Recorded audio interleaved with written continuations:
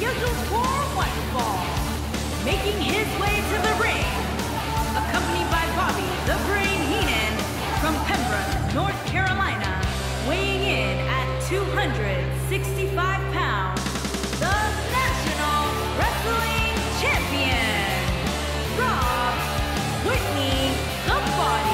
Singles action on its way, and it sounds like this arena is more than ready to kick this one off. So is social media, Michael. The opening bell hasn't even rung, and yet both these superstars are already trending. And I'd add that he certainly has his work cut out for him here tonight. Would you agree, Byron? Yeah, this isn't going to be easy for him, that's for sure. But he knew that when he signed up for this match.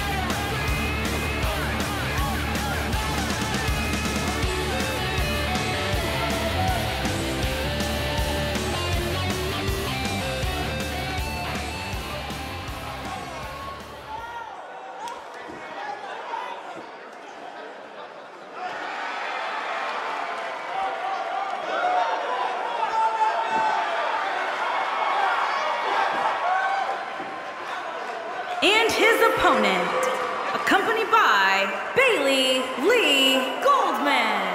And representing the United Kingdom from Melbourne, Australia, weighing in at 275 pounds, Ballarat Jack Jones.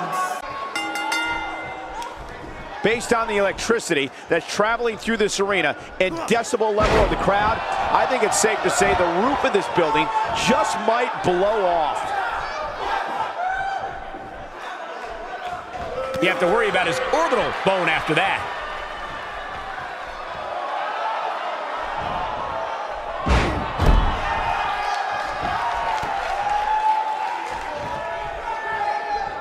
Let's take a moment to talk about Jones. What kind of attack, what kind of tactics are going to help him here tonight? He appears to have his game face on tonight, and he better, because the guy he's in the ring with is no nonsense. I agree, and I think this is one of those matchups that could be one of the greats.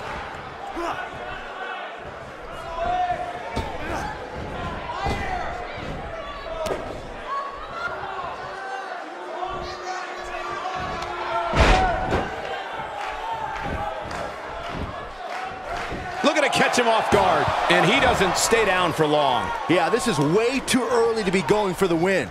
The point of that elbow delivers.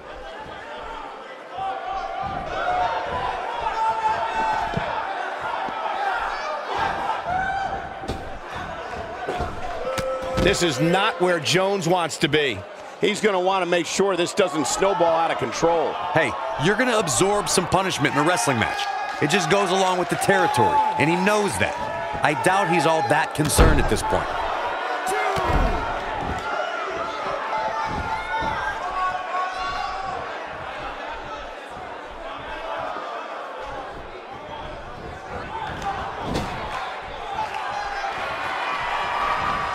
This could be it. You gotta believe this one's over. But did he go for it too early? Looking to catch him off guard. No, he kicks out at two and a half. Nice kick out.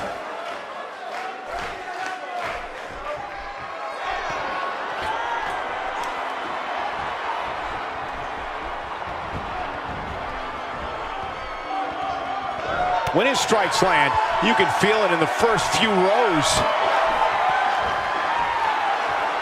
Huge slam right there.